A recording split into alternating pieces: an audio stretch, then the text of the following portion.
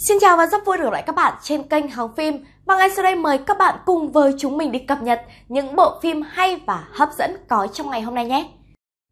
Sau quá trình kiểm duyệt, Đại đường Minh Nguyệt chính thức đổi tên thành Phong Khởi Nghe Thường.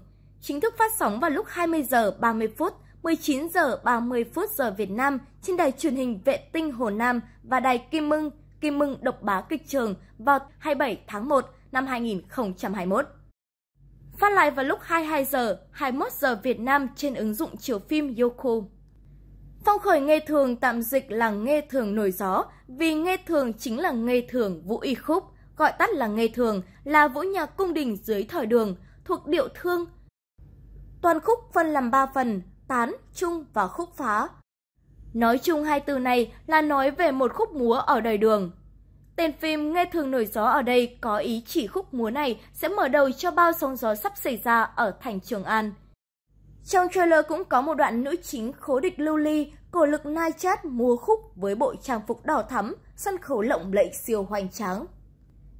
Đại đường Minh Nguyệt chính thức khai máy vào ngày 18 tháng 5 năm 2020 tại phim trường Hoành Điếm. Đây là dự án trọng điểm của Yoku trong năm 2021. Bộ phim được đạo diễn bởi người đã làm nên thành công cho bộ phim Trần Tình Lệnh, Trần Gia Lâm. Đại đường Minh Nguyệt là một bộ phim truyền hình cổ trang được truyền thể từ bộ tiểu thuyết xuyên không cùng tên của tác giả Lam Văn Thư. Câu chuyện xoay quanh cuộc đời nữ chính Khố Địch Lưu Ly sống tại thời cổ đại. Cô nàng chỉ muốn quãng đời còn lại sống bình yên, hạnh phúc là được. Thế nhưng nàng không được toại nguyện về sau bị cuốn vào những âm mưu chính trị rồi gặp gỡ Bùi Hành Kiệm, một người tài giỏi luôn vì nước, vì dân. Họ đã cùng nhau vượt qua mọi âm mưu chính trị và những khó khăn vất vả khác. Lưu Ly và Bùi Hành Kiệm cuối cùng cũng có thể hạnh phúc sống bên nhau. Tuy nhiên nội dung của bản phim nhất định đã bị thay đổi rất nhiều, vì tới tên phim cũng đã đổi luôn rồi. Phần vai của Phong Khởi Nghe Thường, Đại đường Minh Nguyệt, Cổ Lực Nai Chát trong vai Khố Địch Lưu Ly, Hứa Ngụy Châu trong vai Bùi Hành Kiệm, Thi Thi vai Vũ Mì Nương, Lý Trì vài Triệu Nhuận Nhiên, Chắc Cầm Nương vài Lý Tâm Giật.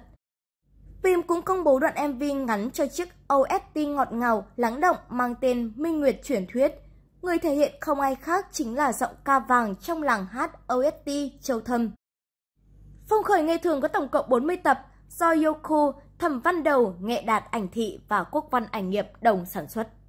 Chúng mình là Học Phim. Nếu như các bạn đam mê yêu thích xem những bộ phim hay và hấp dẫn, vậy thì đừng quên like, đăng ký kênh ủng hộ chúng mình nhé. Còn bây giờ, xin chào và hẹn gặp lại.